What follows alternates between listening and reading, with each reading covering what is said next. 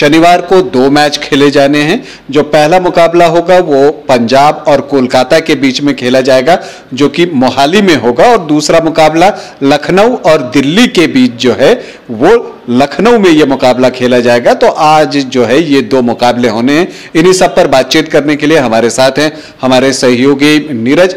नीरज, जो शनिवार को दो मैच खेले जाने हैं, उसमें से पहला मैच पंजाब और कोलकाता के बीच में है। पंजाब की टीम की कप्तानी शिखर धवन कर रहे हैं। कोलकाता के लिए जो है, नितेश राणा को जो है, वो कप्तान बनाया गया है। और जानते हैं कि चूँकि श्रेयस अय्यर पूरी तरह से फिट नहीं है, इसीलिए राणा को कप्तान बनाना पड़ा है। इन दोनों टीमों के बीच आप किसका पलड़ा भारी देखते हैं?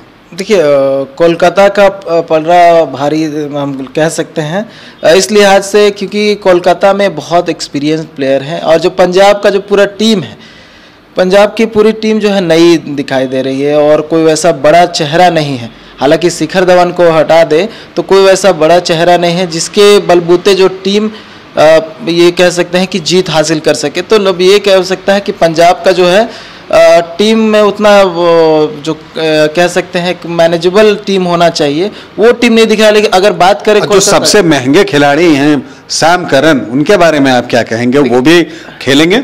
देखिए सैम करन की अभी मौजूदा फॉर्म की बात कर ले, अभी पिछले जो बांग्लादेश से सीरीज़ हुआ था तो उसमें सैम करन का उतना प्रभाव नहीं दिखा। वो काफ़ी प्रभाव छोड़ने में भी सफल नहीं दिख पाए हैं तो उनका फॉर्म से थोड़ा जो है आमना सामना दिख रहा है, वो ये कह सकते हैं। तो सैम करन पर नज़र रहेगी, लेकिन मुझे नहीं लगता कि सैम करन अभी जो है, शुरुआती दौर में अपना जो छाप है, वो छोड़ पाएँगे। देखिए सैम करन को मैं जहाँ तक देख पाता हूँ नई गेंद के साथ वो गेंद को स्विंग कराते हैं तो अगर नई गेंद में वो विकेट निकाल लेते हैं तो वो जो है पंजाब को फ़ायदा पहुँचा सकता है।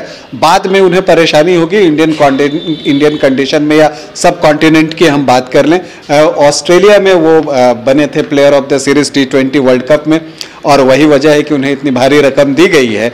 आ, लेकिन मुझे लगता है कि वो शुरुआती ओवर में ज़्यादा इफ़ेक्टिव साबित हो सकते हैं। इसके अलावा बाद में वो अपने स्लो डिलीवरी पर कितना काम किए हैं वो दिखेगा जब मैच होगा तब। और इसके अलावा उनकी बल्लेबाजी से पंजाब को जो है ज़्यादा उम्मीदें होंगी मुझे लगता है। इसके अलावा सिकंदर रजा का नाम मैं लेना चाहता हूँ जिम्बाब्वे के खिलाड़ी हैं। टी ट्वेंटी विश्व कप में उन्होंने शानदार प्रदर्शन किया था। उनसे भी उम्मीदें होंगी।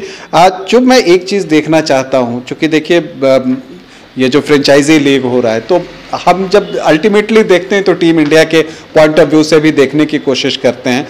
और मेरी नज़र अगर किसी पर होगी तो वो अर्शदीप पर होगी। अर्शदीप में स्विंग करने की क्षमता है। और अगर अर्शदीप और करण शुरुआत में गेंद को स्विंग करा पाने में सफल रहे और कोलकाता को इनिशियल झटके दे दिए तो पंजाब के लिए चांस बन सकता है, नहीं तो मुश्किल होगी।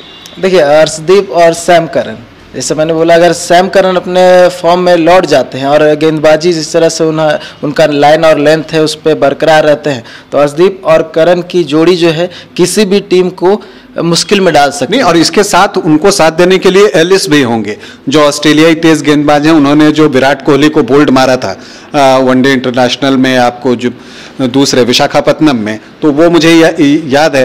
तो अगर वो उस तरह की गेंदबाजी कर पाते हैं तो ये अगर तिकड़ी खेलती है तो आ, सामने बैटर्स को परेशानी हो सकती है आ, क्योंकि हम देखें तो राहुल चाहर सिकंदर रजा ये सब सपोर्ट करने के लिए वहाँ रहेंगे।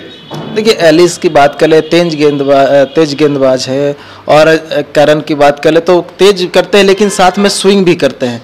और सेम अगर हम बात कर ले अर्शदीप सिंह की तो अर्शदीप सिंह तेज करते हैं, लेकिन वो कभी कभी स्लोअर गेंद भी डाल देते हैं। हाँ नहीं, देखिए अर्शदीप के साथ जो अच्छी बात है मैं अगर तीनों गेंदबाजों की तुलना करूँ, अगर पंजाब के ही तो मुझे अर्शदीप तीनों पर भारी दिखते हैं, इसलिए भारी देखते हैं, क्योंकि वो नई गेंद के साथ स्विंग तो करा ही लेते हैं, लेकिन डेथ ओवर्स में उनके पास यॉर्कर्स भी हैं।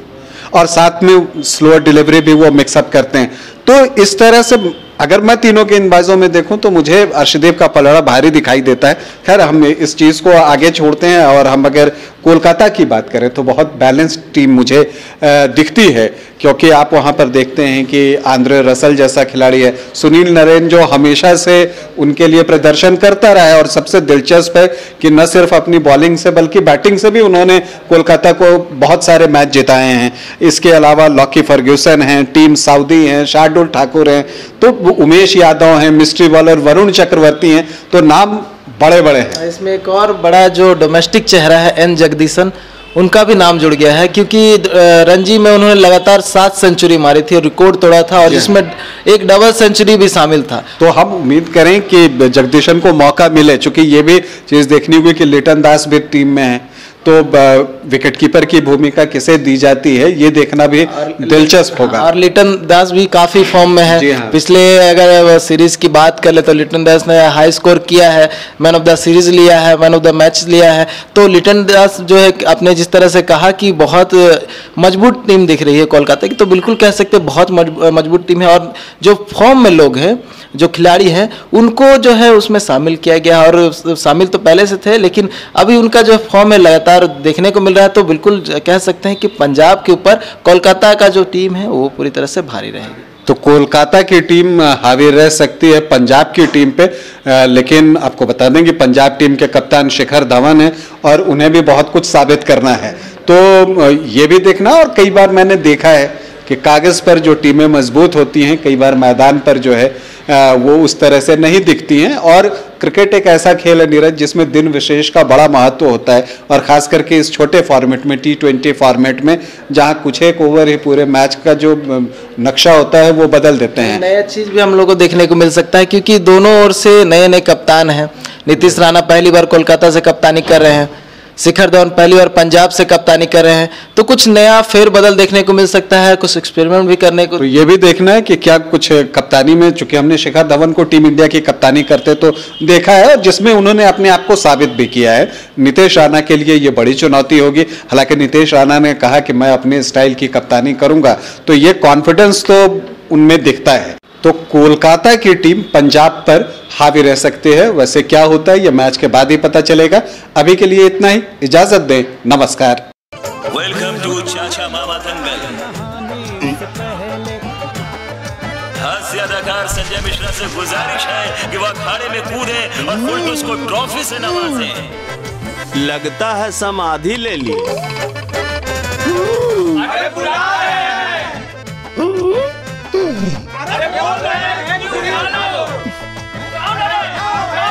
Top tech cement. जो जोड़े तो छोड़े नहीं। मजबूती ही हमारी पहचान।